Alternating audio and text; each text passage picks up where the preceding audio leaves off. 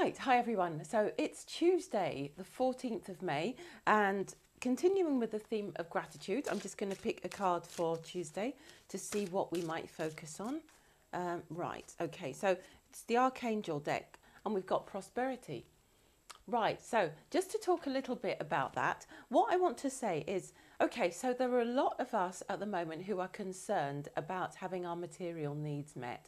And of course, you know, in the wider scheme of things, we're seeing a lot of things in the economy um, that are really making people feel quite nervous as well. And I feel that what this card is saying is, well, in terms of gratitude, what we really need to do is to see abundance everywhere, see abundance all around us, and then find it within ourselves somehow to be grateful for what we already do have. And we are already, every single one of us, if you are sitting somewhere watching this video, you are more prosperous than you think because you have access to that sort of technology and you have access therefore to an abundance of resources that can help you to to think better thoughts to clear the past to resolve to to create change within yourself and collectively. So that's one thing to immediately be grateful for. So i'm going to start today and i'm going to put aside any concerns that i might have and i'm just going to say i am very grateful that i am actually speaking to you through this um, medium and I'm very grateful that I'm able to do that. I'm very grateful that I'm able to connect with you with this message. And um, yeah, I'm going to read the card. It says Archangel Ariel says, Your material needs are provided as you follow your intuition and manifest your dreams into reality. So, what the card is also saying is okay, so we're looking at the theme of gratitude. We're looking at gratitude because it helps us to open the heart and that raises our frequency.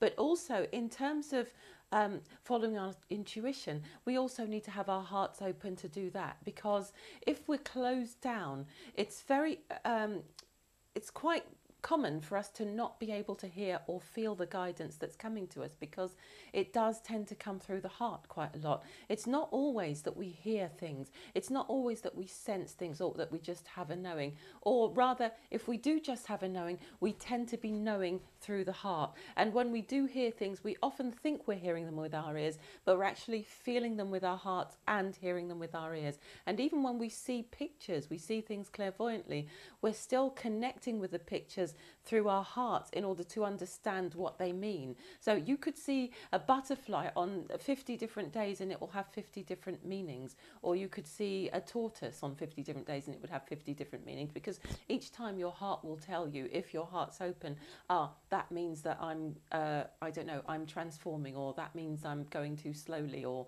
that means I'm going too fast, or whatever. So, really, this is about moving towards our dreams, moving towards prosperity by trusting what we're feeling. And um, a lot of us will have had a big lesson about this recently. I've had a very big lesson about this. And it's really just a reminder today that if you're not sure about something, or if you're in doubt about creating abundance, manifesting your dreams, or any of those things on that frequency, come back into the heart, do a little bit of a meditation on it. This is going to be a good day to reconnect with that. What's real about this? Why isn't the, the abundance flowing in this area? Why isn't it happening? Is it because maybe I'm not on an energetic path that's in alignment with where, what I'm really supposed to be doing, what I'm really, where I'm really supposed to be? Because when we do that, it does, things do start to open up. And then the challenge, of course, is to trust and to walk through those doors when they open up. But that's another day and that's another story.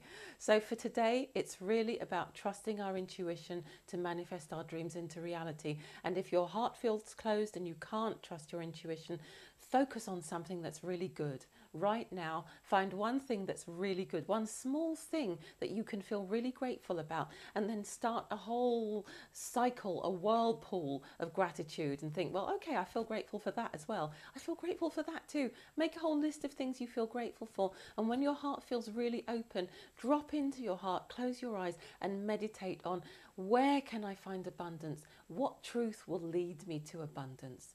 Okay, that's it for today, and I'll be back tomorrow for Wednesday's Angel Hug. Happy Tuesday. Bye.